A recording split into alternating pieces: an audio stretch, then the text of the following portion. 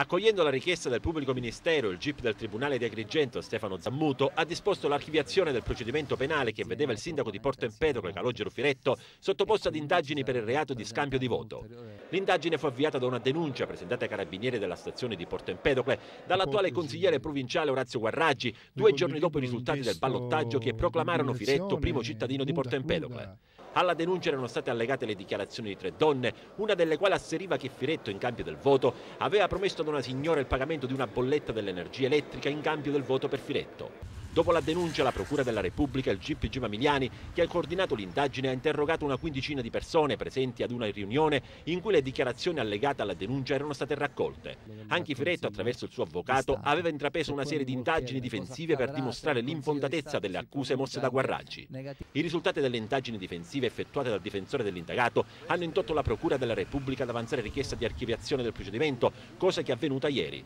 Sempre il Tribunale di Agrigento ha assolto tre impiegate dello stesso Tribunale, Giussi Tarantino, Anna Argento e Maria Carmela Graceffa, finite nei guai nel 2005 insieme ad una trentina di persone, tra cui l'ex presidente dell'Acragas Calcio Giuseppe Deni, con l'accusa di far parte di un'associazione per delinquere con l'aggravante di mafia finalizzata a reati di corruzione, truffa e falso. Le tre impiegate del Tribunale di Via Mazzini sono le uniche imputate per cui è stata riconosciuta la piena innocenza, mentre tutti gli altri imputati, una trentina in tutto, hanno beneficiato della prescrizione.